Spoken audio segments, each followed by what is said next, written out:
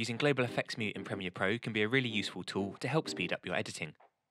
To add the Global Effects Mute control, click the plus sign in the bottom right hand corner of the program window.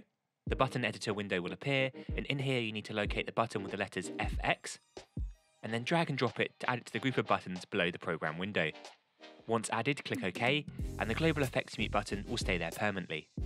To activate Global Effects Mute, left click the FX button, and any effects you have added to your clip, such as colour correction, blurs, or cropping, will be turned off in playback. This helps Premiere to work faster, as the software doesn't have to process all of this information when playing back your footage, which will speed up your edit.